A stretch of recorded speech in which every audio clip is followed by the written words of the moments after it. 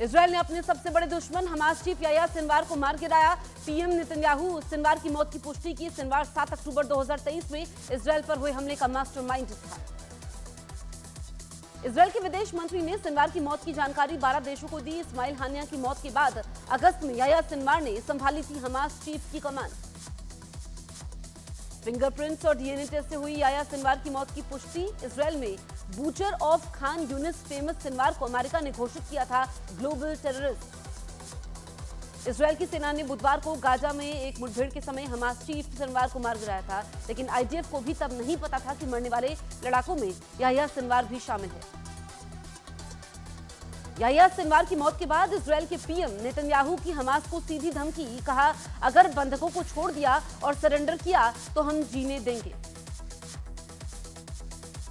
Gaza में मुठभेड़ के बाद मारे गए याया सिनवार का शव निकालने का वीडियो वायरल। इसराइल की सेना एनकाउंटर के बाद इमारत से निकाल रही थी मारे गए लोगों के शव। याया सिनवार की मौत पर अमेरिका का बड़ा बयान, कहा, दुनिया के लिए आज बड़ा दिन है। लेबनन पर इसराइल की सेना के ताबड़तोड़ हमले जारी। अब तक इसराइल के हमलों में, लेबनन में 2412 लोगों की मौत। याया सिनवार की मौत के बाद जंग पर इसराइल के पीएम नेतन्याहू का बड़ा बयान कहा, युद्ध अभी खत्म नहीं हुआ है, आतंक के खात्मे तक जारी रहेगी जंग। बहराइच हिंसा के दो आरोपियों को पुलिस ने एनकाउंटर के समय पकड़ा। नेपाल भागने की फिराक में थे आरोपी सरफराज और मोहम्मद तालीम। बहराइच हिंसा में पुलिस ने अब तक सत्तावन आरोपियों को गिरफ़्तार किया। मामले में तेरह एफआईआर भी दर्ज हुई है। बहराइच हिंसा के आरोपियों पर होगी एनएसए के तहत कार्रवाई, अफवाह फैलाने और आरोपियों को शरण देने वालों पर भी होगी रासुका की कार्रवाई।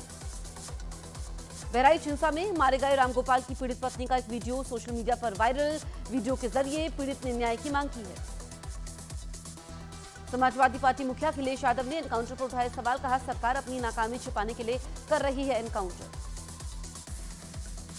बहराइच हिंसा पर राजनीति तेज एआईएमआईएम ने कानून की धज्जियाँ उड़ाने का लगाया आरोप। वारिस पठान बोले, देश संविधान से चलेगा रोक डालने वाली पॉलिसी से नहीं।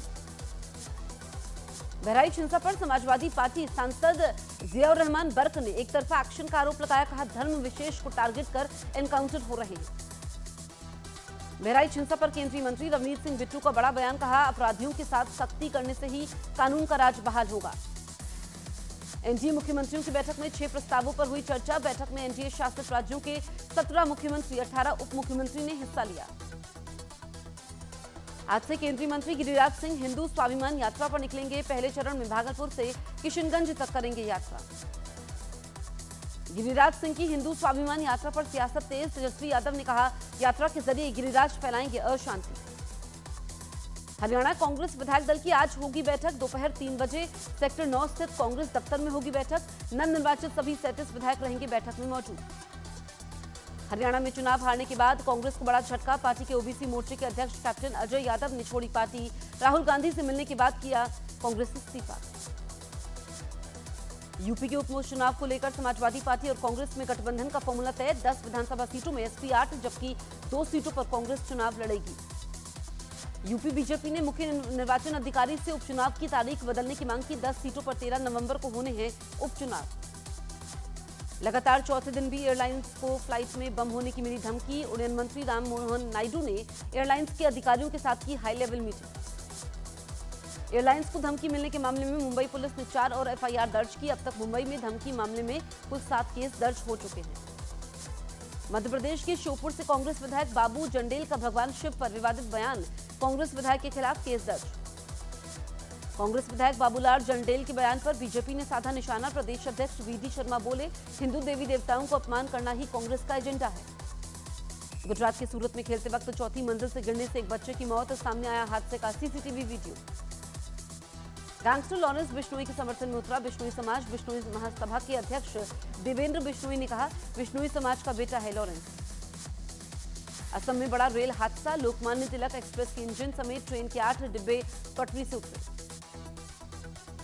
यूपी के कासगंज में अवैध ईट भट्टे पर कार्रवाई के समय एसडीएम की टीम पर दबंग चेयरमैन और उसके साथियों ने किया जानलेवा हमला।